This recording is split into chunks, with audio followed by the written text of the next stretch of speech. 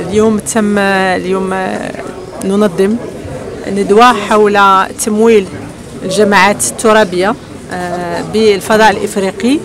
هذه الندوة آه، تم تنظيمها مع le FIATER وهو le Forum International de l'Avenir des Territoires مستقبل الجماعات الترابية وكذلك جمعية جهة المغرب.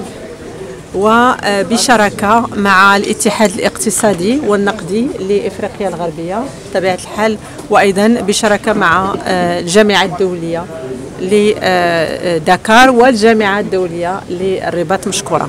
إذن آه، بدأت أشغال هذه الندوة حقيقة البارحة. كانت آه، الأمس كان هناك ندوات بمقر الجامعة الدولية للرباط حول آه، تمويل الجماعات واللي كانت آه، مؤطرة من طرف أكاديميين وكذلك خبراء واللي اشتغلوا على هذا المحور اللي هو نعتبره محور أساسي تعلمون جميعا أن آه، حقيقة مستقبل التنمية هو مستقبل ترابي هو داخل الجماعات الترابية كيفما كان نوعها جماعات يعني آه، قروية أو حضريه أو آه، بطبيعة الحال الجهات اللي هو النظام اللي آه، اللي قروا قرته الدولة أو المملكة المغربية.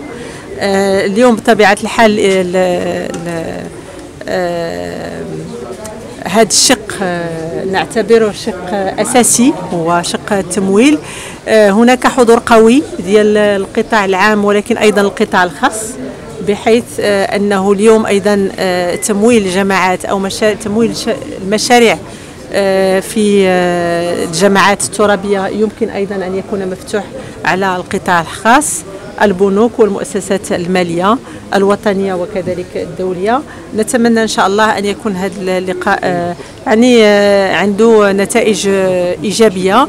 هناك حضور قوي لممثلين منتخبون في دول الإفريقية خصوصا الدول المنتمية لاتحاد الاقتصاد والنقد ديال إفريقيا الغربية بما فيهم دولة النيجر بوركينا فاسو مالي البنان ساحل العاج السنغال وبطبيعة الحال الدولة المغربية بحضور قوي. موريتانيا أيضا صندوق الايداع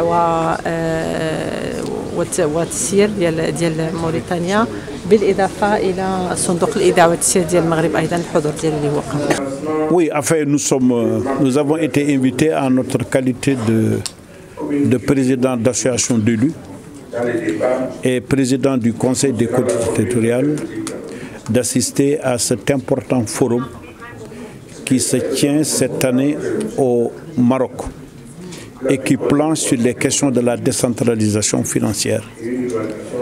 je pense que la décentralisation financière, le renforcement des moyens en faveur des collectivités territoriales est un axe important pour impulser un développement local durable.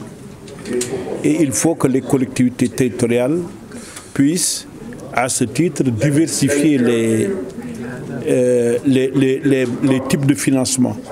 Et c'est cela, à cela que le forum nous appelle, réfléchir ensemble, mettre ensemble les élus, mettre ensemble les experts, mettre ensemble les États, euh, mettre ensemble les organisations sous-régionales pour qu'on puisse réfléchir de manière collective sur les mécanismes les plus adaptés pour le financement des collectivités territoriales.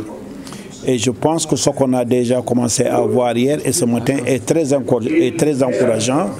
Et nous pensons que nous aboutirons à des solutions idoines qui auraient pour finalité de renforcer la décentralisation financière. Et je voulais donc à ce titre remercier aussi euh, nos frères du Maroc qui nous ont, comme à l'accoutumée, réservé un accueil euh, exceptionnel et féliciter également les autorités marocaines puisque aujourd'hui le Maroc est cité en référence en matière de décentralisation euh, financière en faveur des collectivités territoriales. Donc voilà un peu tout notre intérêt pour venir à ce forum aujourd'hui.